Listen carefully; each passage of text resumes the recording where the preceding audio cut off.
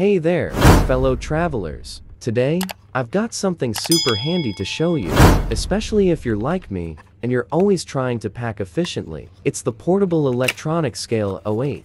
And let me tell you, it's been a game changer for my trips. This little device right here is an absolute lifesaver when it comes to avoiding those pesky overweight baggage effies at the airport. It's compact, lightweight, and fits easily into any pocket or bag, so you can take it with you wherever you go. Using it is a breeze. Just hook it onto your luggage handle, lift, and within seconds, you'll get an accurate reading of the weight. No more guesswork or crossing your fingers at the check-in counter. What's really cool about the A08 is its versatility. Not only does it measure weight accurately, plus, it's got a bright LCD display that's easy to read, even in dimly lit airports or train stations. Whether you're a frequent flyer, a backpacker, or just someone who wants to make sure they're not overpacking, the portable electronic scale A08 is an absolute must-have. Trust me, once you start using it, you'll wonder how you ever traveled without it. So there you have it,